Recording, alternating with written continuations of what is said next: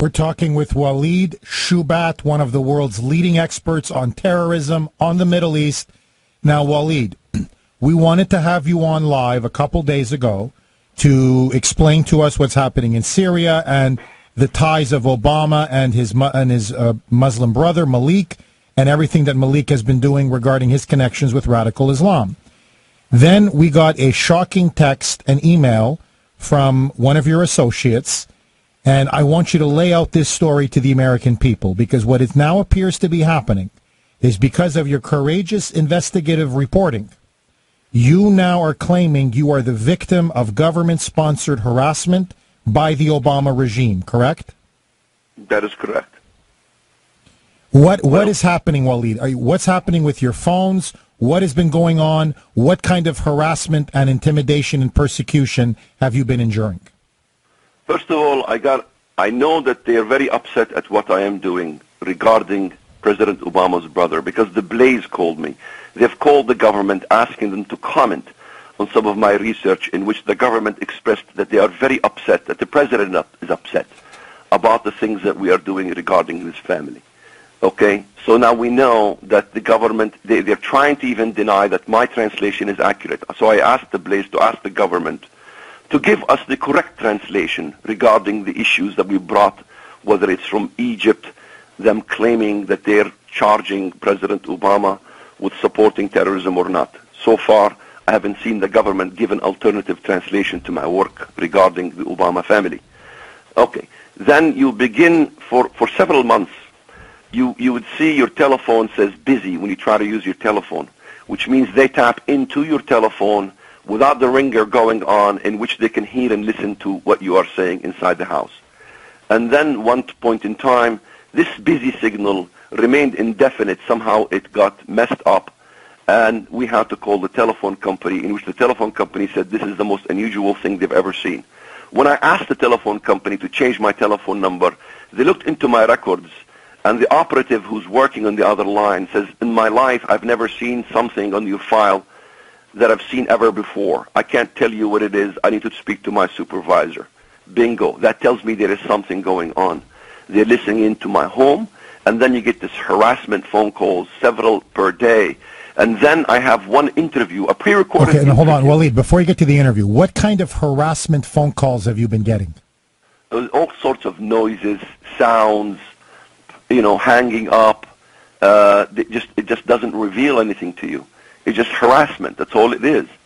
Uh, you know, I've I've spoken to uh, security forces that I've known, friends of mine, and they said we're in the fifth generation harassment by the government, and they have very sophisticated system. You can never trace any of the numbers. Every time you try to trace those numbers, you cannot trace the numbers. It's done by professionals. They told me.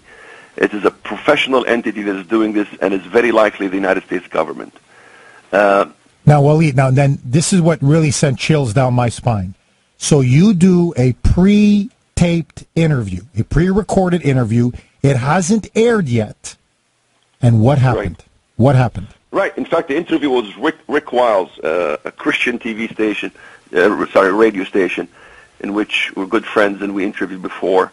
We finished the pre-recorded interview.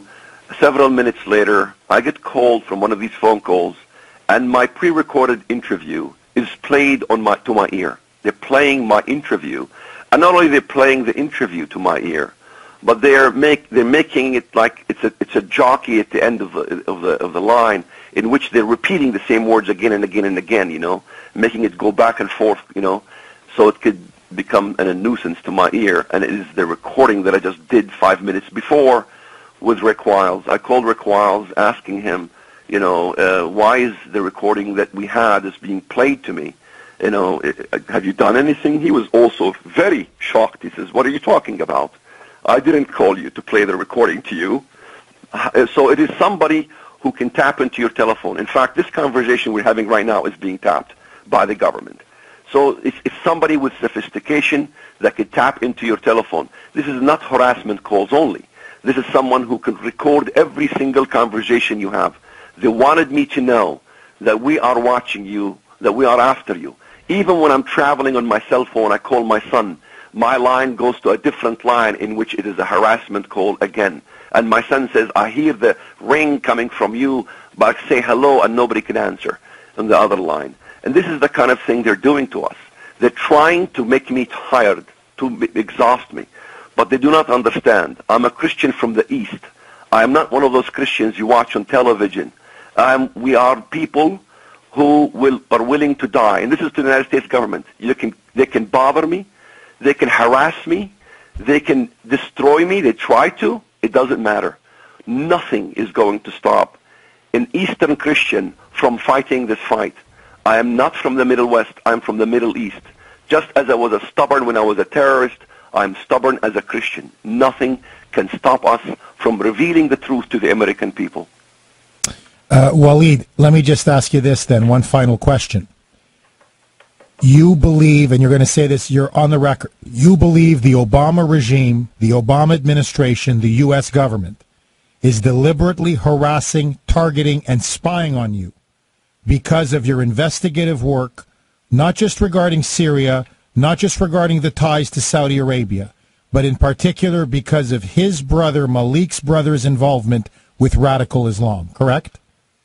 That is correct. This is what we believe, and this is what we learned from the Blaze uh, when they called the government asking them to comment, and the comments, their comments clearly stated that they are very, very upset at the work we're doing. Are you going to move? Are you making any plans to leave, or are you going to stay and, and, and hunker down? Uh, as I said before, I'm hunkering down. It is till death do us part. The government needs to understand the type of Christians they're dealing with. We are not the kind of Christians that will go silent. We are more encouraged by the harassment. It will continue to encourage me to understand that persecution is part and parcel of this faith that I believe in. So nothing will stop me. It will simply encourage me. Let them bring it on. Bring on the whole world. Nothing can stop us from standing and fighting the fight as Christians. For years, people are ashamed to be called Christians in this country. For years, we kowtow to all kinds of ism in this world, compromising our faith and what we stand for. We are not compromising. We will never compromise. We should never compromise in what we believe. We have been talking with Walid Shoebat, uh, international expert on terrorism and the Middle East, critic of the Obama regime. Walid, where can people go? And I'm sure a lot want to. Where can they go to uh, buy your books, read your blogs, read your writings? Shoebat.com, just as you spell the word shoe, S-H-O-E, bat, B-A-T, shoebat.com. Now I'll be accused of doing it for selling books. the might of the might of CNN internationally tried to destroy me for selling books at an event and selling Christian books. The might of CNN tried to slander me, nothing but slander, and it never stopped us. CNN failed. The government will fail. The whole world will fail. The only thing that will separate us from the love that we have for God is death. So they have to come and kill us if they want to. They're welcome to do so. I am awaiting. We have been talking with Walid Shoebat. Walid, stay safe. God bless you, my friend and we'll get you back on the Kuhner Report soon.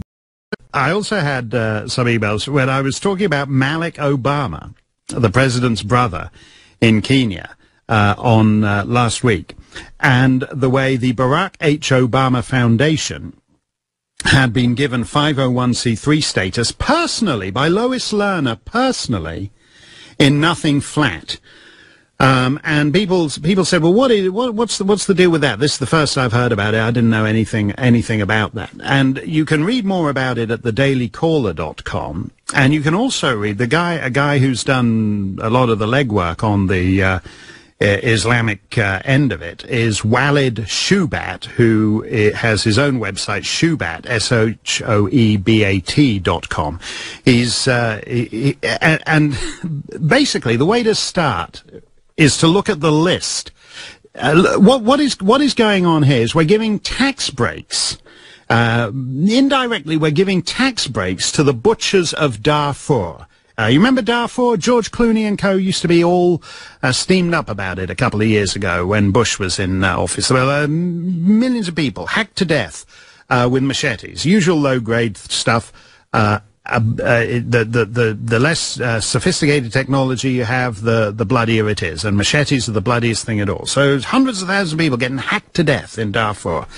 The president of Sudan is a guy called Omar al-Bashir, who is a war criminal. He's been indicted on genocide charges by the International Criminal Court at The Hague. And you can say, yes, yes, well, they'd love to do that to Don Rumsfeld and Dick Cheney too. That's how bad this Sudanese guy is, folks. He's as bad as Dick Cheney or Don Rumsfeld. This guy, he's committed genocide. He's been indicted for genocide. Uh, if he happened to be, he now, by the way, when he flies in on his presidential jet, he's now escorted by fighters because at one point. Uh, there was talk about Western governments sending fighters to intercept his plane and take him to a Western nation and put him on trial for genocide. Omar al-Bashir, uh, president of Sudan. Sudan itself is a terrorist state, right? A terrorist state. Uh, designated as such by the State Department of the United States. Now, everyone thinks, people bandy that term around, oh, terrorist state, terrorist state. It's actually quite hard to get into. It's very exclusive. It's not like getting the most ethical environmental protection administrator of the year award like that fake ID guy did uh, three years running, the a guy who doesn't exist. This, it's actually quite hard to get on the State Department's terrorist state list. There are only four countries on the list. Cuba, Iran, Syria, Sudan.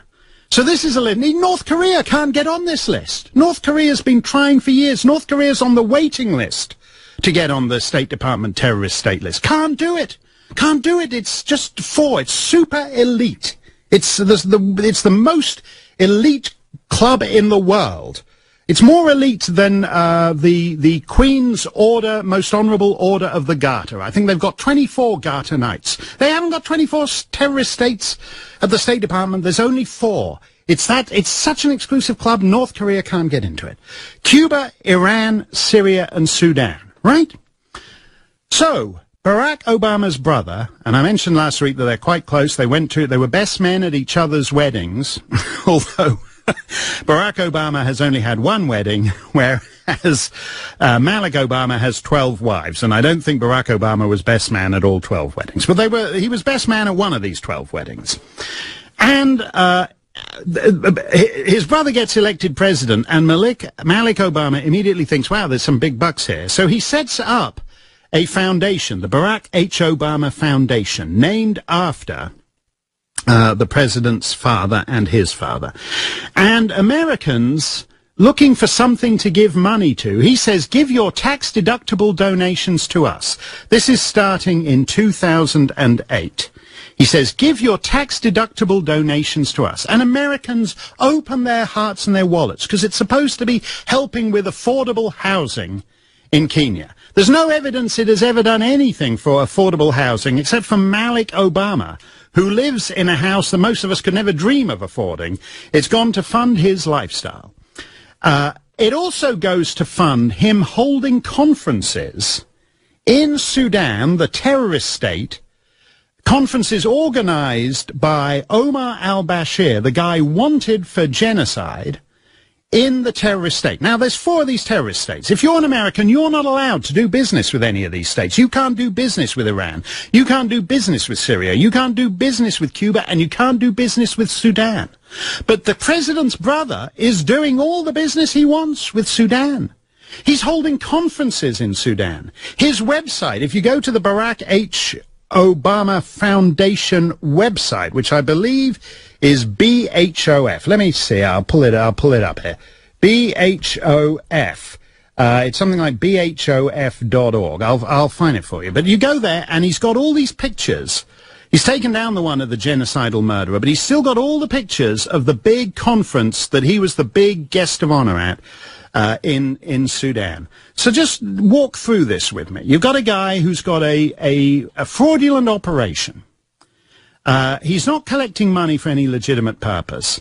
He's telling people it's he's telling Americans it's tax deductible because it's named after the president's father, and he's using it uh, to host big conferences in a terrorist state hosted by a man wanted for genocide. He applied. He's doing this from 2008. Uh, in 2000, with a post, with a, a, false address, fake address in Washington, 2011, he decides he, he's gonna, he wants to actually apply for 501c3 status. Lois Lerner, unlike the Tea Party groups, like any of those Tea Party groups, Lois Lerner personally signs off on this within a month and backdates it over two and a half years to December 2008. Now she can't, she doesn't have the power to do that. It's actually illegal uh, to be running a fake uh, a, a, fake uh, tax deductible uh, operation, a fake tax exempt organization. It's illegal to take that uh, money for more than two and a quarter years without getting your 501c3 status. Here's the website, by the way, Barack H. Obama Foundation.org. Uh, Barack H. Obama Foundation.org. Uh, so Lois Lerner actually commits a crime here. She she she does something that is not in her power to do. You don't.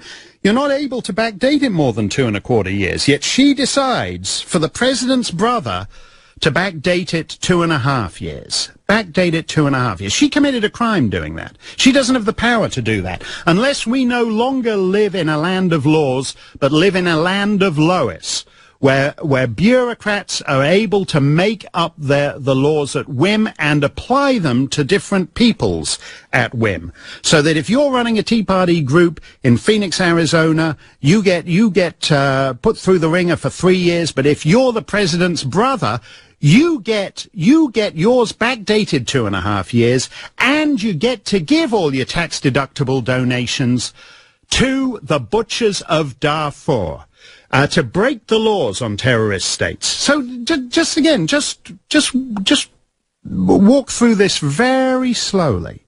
What is it when you get 501c3 status?